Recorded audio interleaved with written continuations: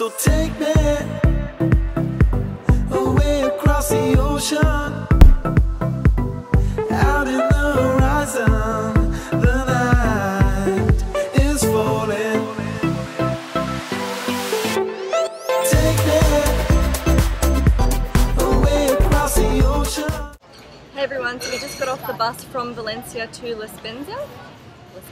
Something like that. We're basically in Terre and we couldn't find accommodation in any of the beautiful five towns that most people come here for, so we've had to stay at La Spezia and we'll catch the train or a boat to see the other towns.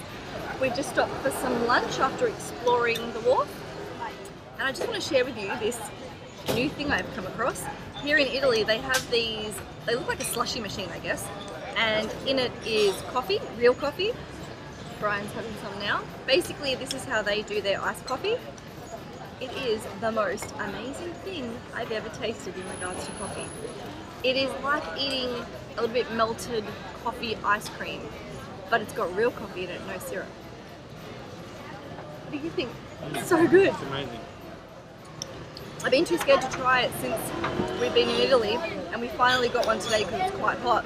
I just said to Brian, thank you. And I just said to Brian, what were we thinking? Why did we not discover this earlier? This is our last stop in Italy, and we decided to have some. And we're in the So home good. of the focaccia. Mm-hmm. Apparently, Green focaccia. toast toasted. Yeah. I'm having it the Italian one.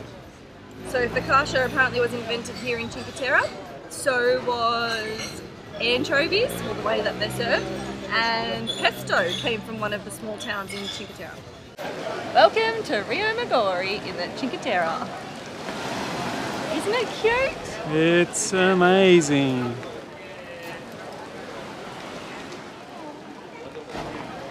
Someone's jumping in. Got some cliff jumpers there. So we've just caught the train from La Spezia and it took about Five minutes. 10 took about 10 minutes and uh, we've arrived here it's about 5 o'clock 6 o'clock and yeah we're just going to chill out here check out the town. Maybe eat some food out on the rocks and see the sunset. Should be good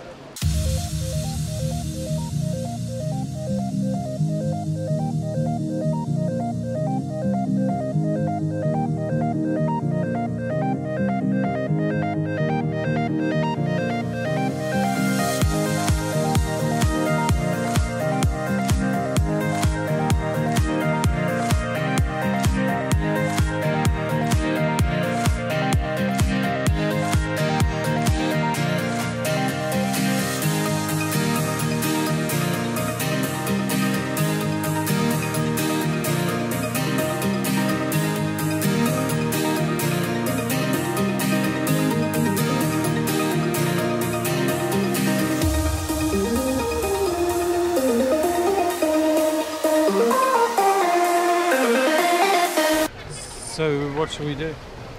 Get some gelato. so we did it. Gelato. More expensive here obviously it's tourist trap but Still tastes good. definitely cools you down. Look how sweaty I am. Today it's ridiculous. So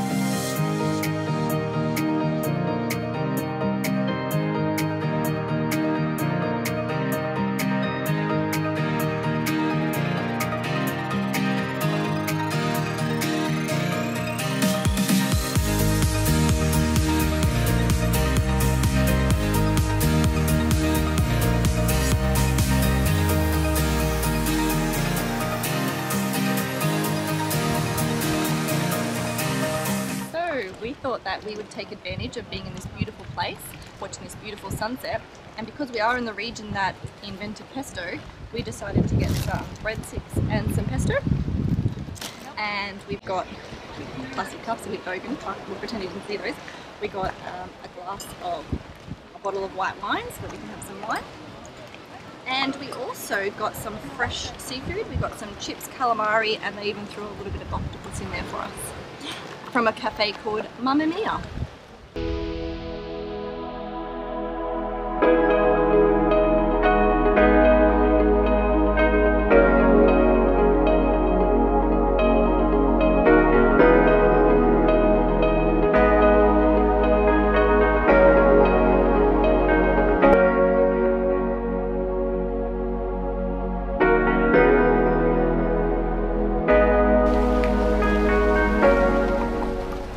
The sun's gone down.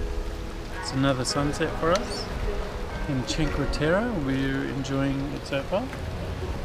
Corinne's still drinking her wine and eating It's so pesto. good. Mm. So we'll end the vlog there and we'll catch you guys tomorrow. Be sure to subscribe and to give the thumbs up. Bye. Bye.